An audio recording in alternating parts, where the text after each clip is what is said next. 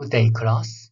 In this video, we are going to talk about the syndrome differentiation of Zangfu organs. This is one of the most important differentiation methods that's in the diagnostics.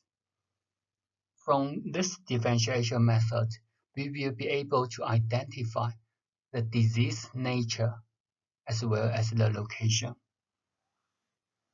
This differentiation method initially from Huangdi Neijing, so also from the classic. The initial thoughts was from there, and then after these thousands of years, hundreds of years developments, it gradually become it gradually becomes a very important diagnostic method in our theory. The reason is because in from the differentiation method that we have studied, such as the eight principles, we will have a general idea which categories the disease falls in, such as in the such as an exterior syndrome or interior syndrome, cold syndrome or heat syndrome but you don't know what's the cause or what's going to be affected in this situation. Then we introduce the second differentiation method, exogenous factors, or the, the other term, etiological factors. So from this, this differentiation method, that we can identify the causes from the wind, from the coldness, or from the in, internal emotions. So that's to identify the causes. But even when we combine with these two, we still don't know what happened to the body. That's why we keep introducing the differentiation method according to the disease nature, such as the qi disorder, the blood disorder, the fluid disorder, the yin and yang disorder. So we until now we have we will know what's the cause of the disease, what happened to the patient. But even if we mm, combine these three different differentiation methods, we still don't know where they are, which organs was affected so that's the category we're going to, that's the information that we're going to study in the syndrome differentiation of Zangfu organs. From this differentiation, we will know exactly which organ was is affected and what's the cause.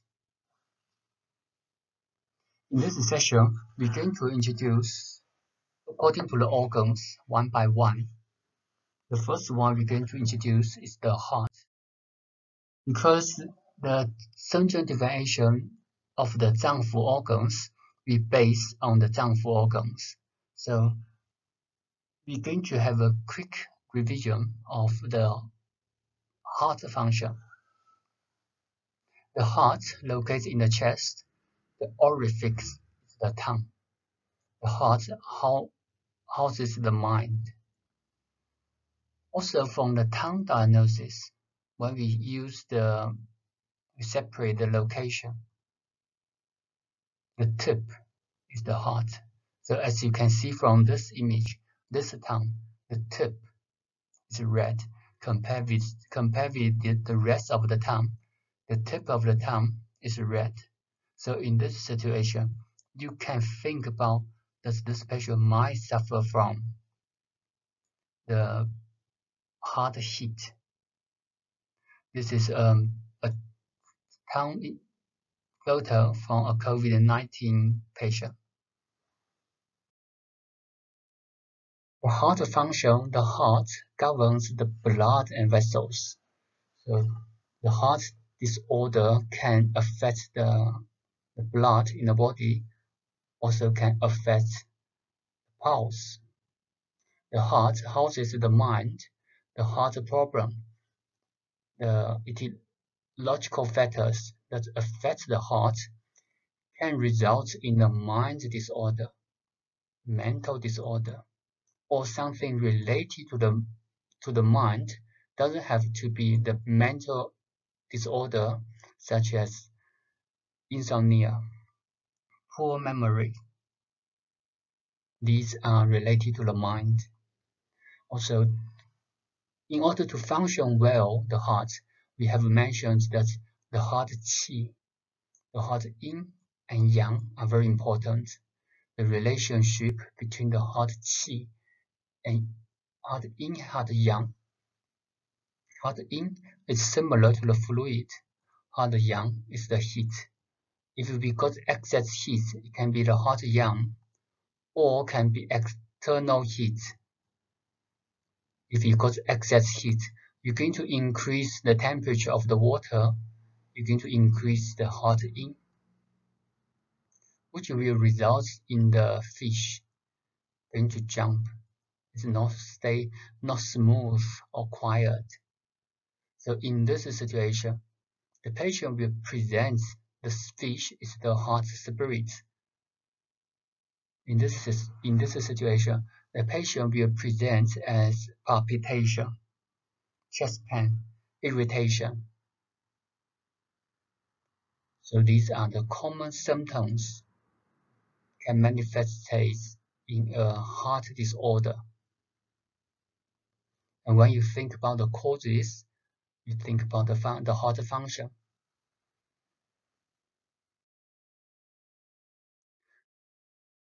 The heart houses the mind, so it can affect the consciousness, the emotion, the thoughts. The thoughts also related to the consciousness. The heart is one of the most complicated organ or the complicated symptoms. The reason is the heart is the only organ that has qi, blood, fluid, yin and yang disorders. The rest of the, the other the, the other organs, such as the lung, the spleen, they have some of them but don't have all of them but the heart is the only one have all different disorders. So let's begin to introduce one by one.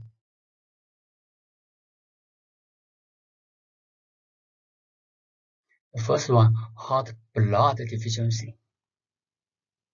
So this syndrome happens in the heart location. The nature is the blood deficiency. So now when you take off the heart. You think about the blood deficiency. The patient will present with pale, right? everything pale related to the blood deficiency. That's because the heart blood fail, fails to nourish the heart. Blood version: pale complexion, pale lips, pale coating, pale tongue. That's because due to the blood deficiency. And then the blood, the heart needs needs the blood to nourish. If the blood fails to nourish the heart, the heart function, the heart will not function well. What's the heart function? Palpitation, that can happen.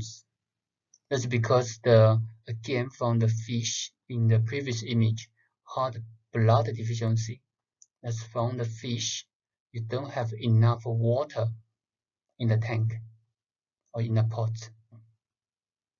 So the fish also going to jump. That's palpitation, insomnia, dream disturbed sleep, poor memory. That's the related to the mind.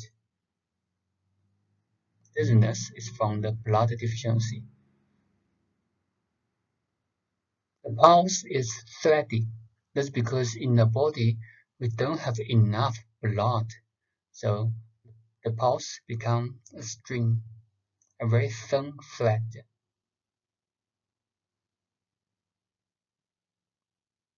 So when you understand, try to memorize this some this syndrome, you need to memorize that's the the possible heart function It's from the, the heart itself, the thoughts, the mind, and then the blood, blood deficiency symptoms. So that's how to remember and how to identify in our clinical practice. In a heart deficiency, the patient may present with insomnia, dream disturbed sleep, and then let's go to the second syndrome, the heart yin deficiency. This syndrome manifests as internal deficiency heat due to heart yin fails to nourish the heart. So that's the yin. The yin also the fluid, so the yin and the blood is very similar. They all in liquid form. Compared with yang, heart yang, these two, heart yin and heart blood, also in yin category. But the heart yin deficiency will has will have deficiency heat the deficiency heat will present with dry kind of dryness, dry mouth, dry throat, five hearts or five pounds heat, feverish in sensation in the palms and soles. That's the, the symptoms of the yin deficiency. The, the hot sensation, the hot sensation is from the deficiency heat, the relatively excess yang because of the yin. So in this situation, it's similar to this. That's the normal level of yin and yang. But now, because yin deficiency, and then the yang, although the yang is still normal, but compared with this yang, the yin still lack of this part of yin so the patient may present with heat syndrome. That's why the patient will have dry, dryness and hot sensation in the palms and soles, flushed cheek, tidal fever. That's also due to yin deficiency, night sweats, weight loss, yin deficiency. And now again, this yin deficiency happens in the heart. So the patient must have the manifestations of the heart. These include restlessness, palpitation, insomnia, dream disturbed sleeping. Now some of you might realize that the descriptions here is very similar to the heart, heart blood deficiency. When you go back to the previous previous slides, you will see the also palpitation, insomnia, dream disturbed sleep. Although the tongue manifestation is different, heart yin deficiency, the tongue is red. Heart blood deficiency, the tongue is pale. So that's the, the difference. One of the difference you can identify from the tongue you can distinguish these two. But from the symptoms, the patient may present with palpitation, insomnia.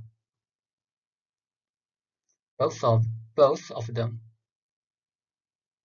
can present with this. What's the difference between the insomnia in a heart deficiency syndrome and a blood deficiency syndrome? The difference is the insomnia presents as very difficult to fall asleep or the patient is very easy to be wake up. So very light sleep, a very light sleeping. So some patients will tell you that they feel very difficult to fall asleep. Some will tell you that they can sleep, but they are very light noise, very soft noise, they will wake up. It's both, both of them is considered as in, insomnia. The one due to heart yin deficiency, the patient will feel difficult to fall, fall asleep. The reason is because the heat. The deficient heat, although deficient heat still heat, the heat will cause restlessness. So it, it, this is a kind of hyperactive. That's why the patient could not sleep. The one from the heart blood deficiency, the patient will have light or light sleeping. So the patient can be wake up easily. In this situation, it's because the heart blood cannot nourish the heart spirit. So that's the key difference between a heart yin deficiency and a heart blood deficiency.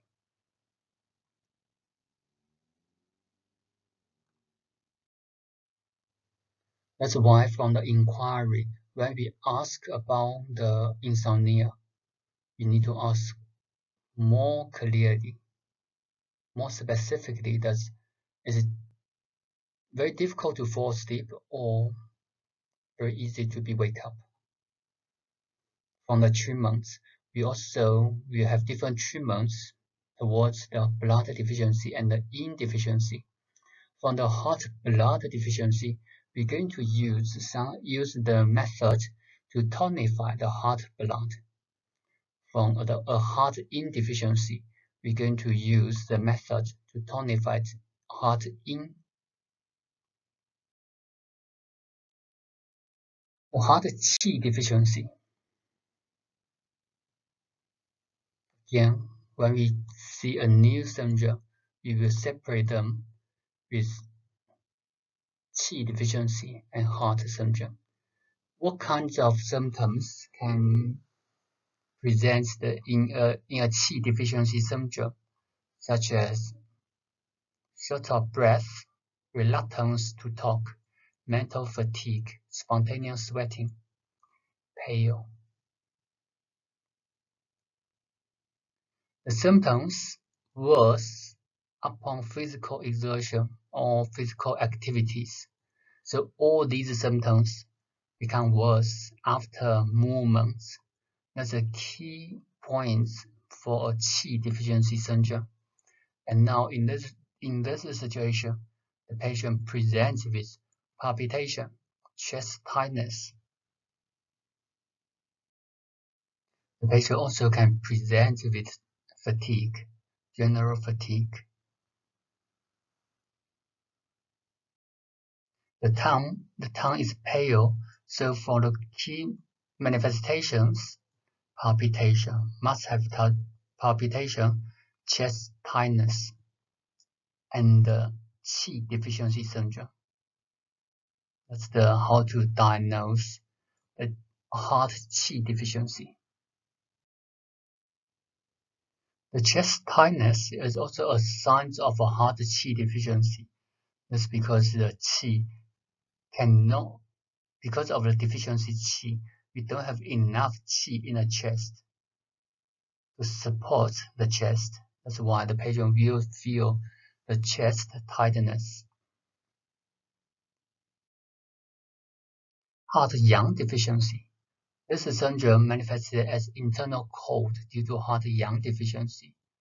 In this syndrome, you need to think about a yang deficiency syndrome if the body has no enough yang, has not enough yang, what happens? And the difference between a heart yang deficiency and a heart qi deficiency. That's the difference between the qi deficiency and yang deficiency.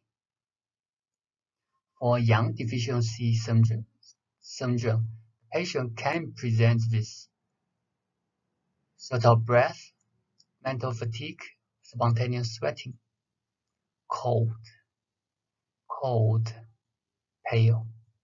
So these are the yang, the symptoms of a yang deficiency syndrome. Because of the yang deficiency, we got relatively excess yin, so the patient will present in in symptoms, which is the cold symptoms. The pulse is deep, weak, or irregular intermittent or irregular intermittent. The reason is because the yang qi could not promote the blood movement.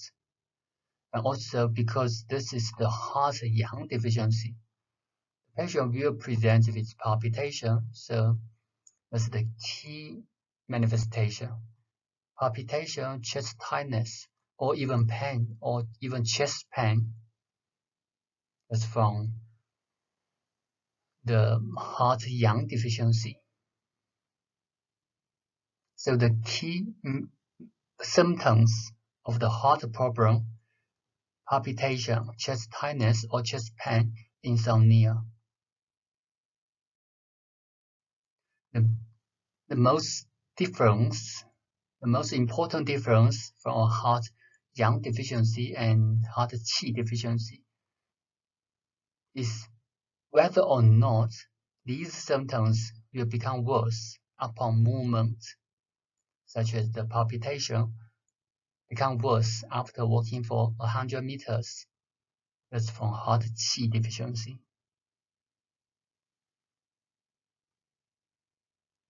For the yang deficiency, mostly the patient must present with coldness, especially cold limbs. Also from the tongue, heart yang deficiency can the patient may present with enlarged tongue, pale enlarged tongue, enlarged or swollen tongue. That's because the yang deficiency can cause water retention. The heart qi deficiency can present with pale tongue but not enlarged. The sudden collapse of heart yang. This syndrome mainly manifests as critical, a critical condition of the extreme exhaustion of the heart. So this syndrome is developed from the heart yang deficiency, and this is a worse situation than the heart yang deficiency. The patient may present with the symptoms similar to the heart yang deficiency because the yang collapse. You can goes back to the notes. That's when we talk about the yang collapse and yin collapse. And specifically now it, it happens in the heart. So this yang collapse already affect may affect the heart mind. So the patient may present with mental confusion or unconsciousness. And this happens in the heart the patient may present with palpitation, chest pain, because of the yang deficiency, yang collapse. The patient may present with yang deficiency symptoms or also more severe yang deficiency symptoms, sudden cold, cold sweat, cold limbs, pale complexion, faint breathing, so that's a worse condition of the yang collapse. This syndrome sometimes is very common to see in a heart attack. Patient may present with palpitation, chest pain, cold sweat. So you can see the patient present with severe pain and sweating cold limbs. The hands and feet are cold.